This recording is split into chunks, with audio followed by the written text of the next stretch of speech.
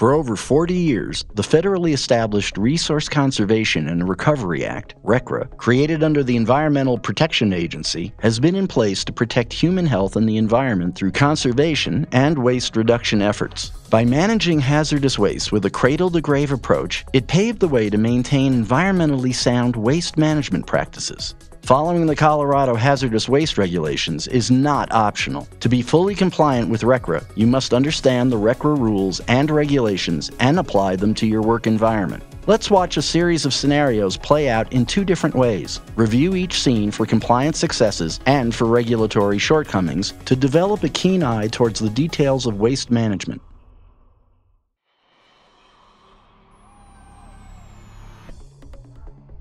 Understanding your waste is one of several steps in making a hazardous waste determination. Mixing unknown chemicals could pose environmental and safety risks.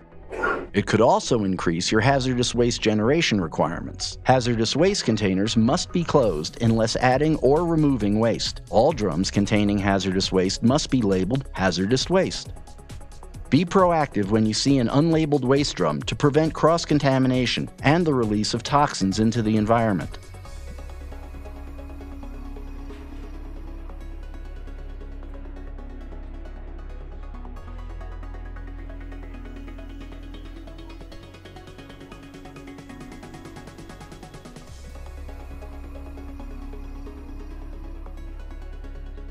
Secured lids and affixed labels is a requirement under RCRA.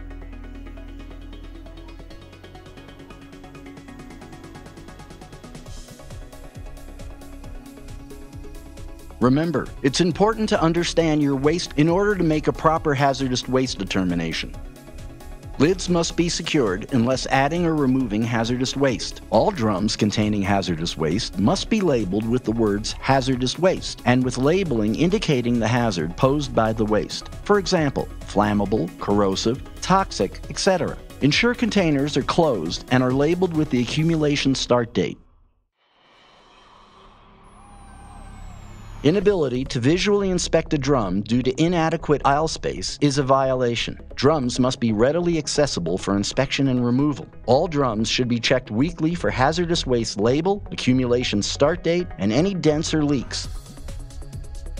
Using a weekly inspection checklist is strongly recommended. Informing management and remedying drum issues such as leaks, dents, and or deterioration or illegible labels is a best management practice and meets regulatory intent. In summary, ensure there is adequate aisle space to allow for complete container inspection. Check condition of containers for any leaks, dents, and or deterioration. All drums containing hazardous waste must be labeled with the words hazardous waste and with labeling indicating the hazard posed by the waste. For example, flammable, corrosive, toxic, etc. Ensure containers are closed and are labeled with the accumulation start date. Aerosol cans are a universal waste. Universal waste rules require that hazardous waste containers are labeled and that the waste is managed to prevent releases by closing lids, preventing leaks, and spills.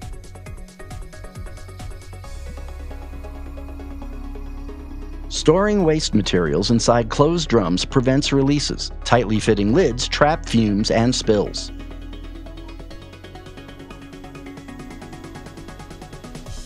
Aerosol cans must be disposed of only in labeled, sealable containers. Where possible, fasten lids securely to prevent fumes and spills from escaping. Improperly storing used fluorescent bulbs violates universal waste rules. Bulbs haphazardly stored are easily broken, resulting in the release of mercury gas into the environment. Reusing the original box, labeled properly to indicate that the contents are waste and not usable product, is allowed and ensures compliance and prevents releases. Place used bulbs in a box that fully contains the bulb.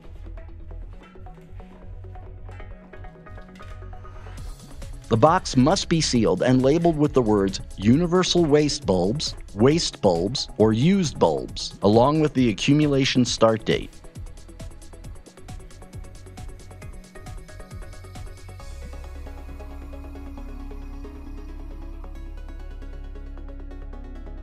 To summarize, reusing the original box, properly labeled, is allowed and ensures compliance. The box must fully contain the bulbs and be sealed and labeled with the words Universal Waste Bulbs, Waste Bulbs, or Used Bulbs, and the label must contain the accumulation start date. Used bulbs must be properly disposed of within one year of the accumulation start date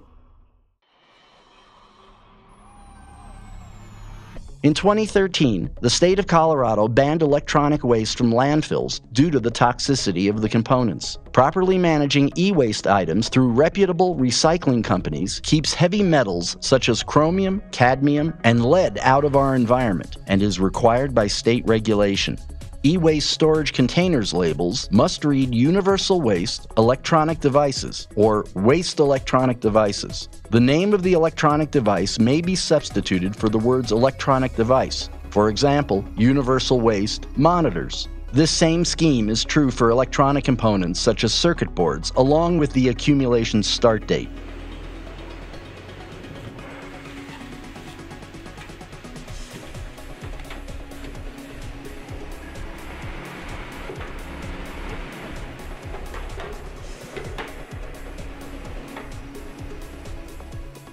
E-waste containers must be labeled with the words Universal Waste Electronics, Waste Electronics, or Used Electronics. The label must contain the accumulation start date. E-waste must be properly disposed of within one year of the accumulation start date. Under RCRA, all used oil containers, fill ports, and tanks must be properly labeled with the phrase used oil, with lid securely sealed and spills cleaned up promptly. Having spill kits nearby is a best management practice. Ensure used oil spills do not reach local waterways.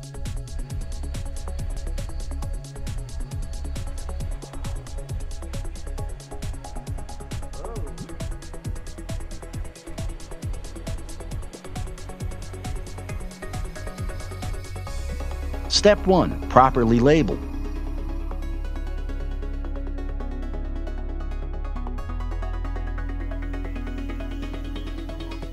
Step 2. Clean up with spill-absorbent materials.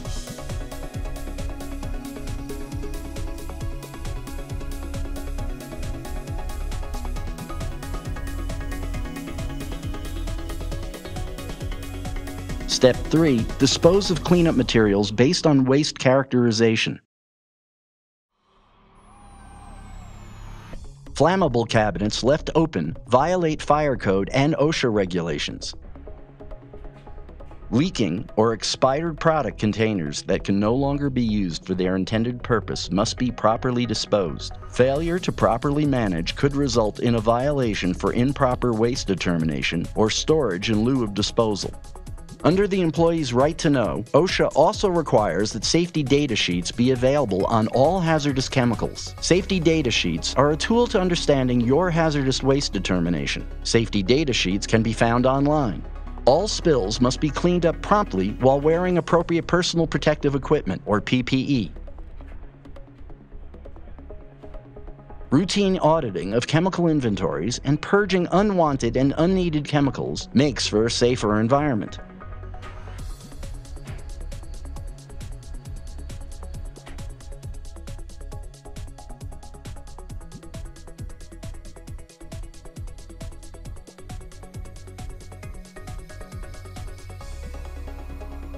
Remember, the Flammables cabinet door should remain closed when not adding or removing items. Before cleaning or disposing of containers, check the labels for hazardous contents, then check the safety data sheets for information about proper disposal. Don appropriate personal protective equipment, PPE, before cleaning up all spills and leaks. When finished, properly dispose of all cleaning materials, including disposable PPE if used.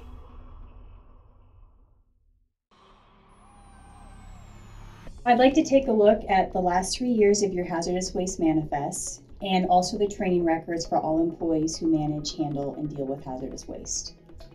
Wow, it's been a while. I'm not really sure where all that is. An inability to produce documented training records and waste disposal manifest, hard copy or electronically, is a common RCRA violation. On the day of inspection, facilities must be able to provide employee record training records. Training records must reflect appropriate and required RCRA content. Three years of waste manifest records with final signature must be available for review. Great, we have that right here for you. Great, thank you. Remember, three years of waste manifest records must be available for review. Training records must reflect appropriate and required RCRA content. The training content must be reviewable by the inspector.